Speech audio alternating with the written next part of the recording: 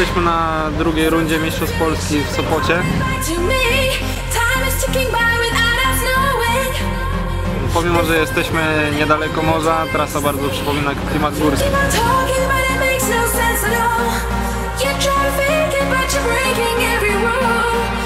Na Mistrzostwa Polski zjeżdża się jak zawsze u nas czołówka najlepszych zawodników w kraju.